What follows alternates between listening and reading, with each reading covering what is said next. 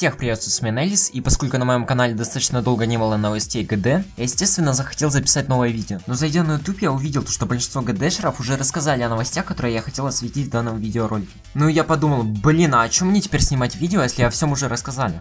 Но тут я, недолго думая, просто отложил видео и начал стрим. И как вы понимаете, во время стрима мне задавали некоторые вопросы, и на один из них я сегодня отвечу. И как вы поняли по превьюшке, я заказал новый микрофон. Не буду ничего скрывать, заказывал я с Алиэкспресс. Кстати, купил я этот микрофон только благодаря вашим донатам. Реально, я вам дико благодарен, потому что вы заходили, вы смотрели стрим, некоторые даже донатили. Вот им я особо благодарен, поскольку благодаря им у меня будет возможность снимать видео и также стримить хорошим звуком. Некоторые, возможно, скажут, то, что, блин, у тебя же нормальный звук на видео, но, чуваки, вы просто не знаете, с какого микрофона я сейчас записываю, это просто жесть. Его очень сильно надо обрабатывать, чтобы более-менее нормальный звук был. И теперь прикиньте, как будет э, звучать с обработкой с микрофон, который более-менее еще нормальный. То есть этот микрофон, как я сказал ранее, не такой и хороший, но он звучит более-менее на видео.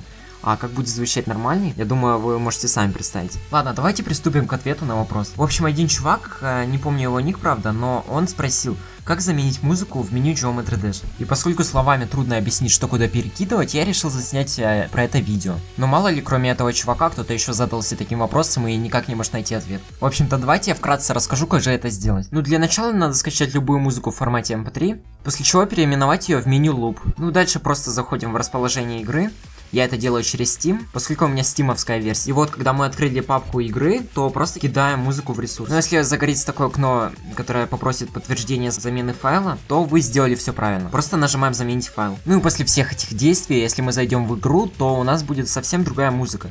Именно та, которую мы закидывали в файл игры. И, кстати говоря, музыку в меню я поставил теорию of Everything 3. Именно она вышла совсем недавно, и она же будет использована в 2.2 для нового уровня. Кстати, вероятно, то, что в 2.2 еще добавят вторую часть Electrodynamics, там, где будет использована, естественно, другая музыка, которая вскоре будет создана DJ Нейтом. Откуда я сделал такие выводы? Да, все просто. Достаточно почитать твиттер DJ Нейта. Он там писал, что Electrodynamics 2 и Theory of Everything 3 официально подтверждены роктопом и будут использованы в новых уровнях. Ладно, ребят, все, по-моему, рассказал. И а, с прошлой задачей мы не справились, мы не набрали 400 лайков, зато набрали 400 лайков совсем на другом видео про баги редактора. Ну, тогда давайте попробуем тут а, 250 лайков набрать. Ну, блин, ну это ж не так сложно для 1000 просмотров.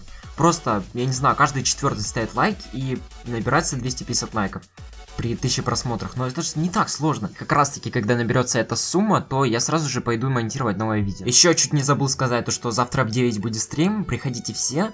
Всем буду рад. Ну и теперь точно все. Если вам понравилось это видео, то поставьте лайк и подпишитесь на канал. С вами был Неллис. Всем пока.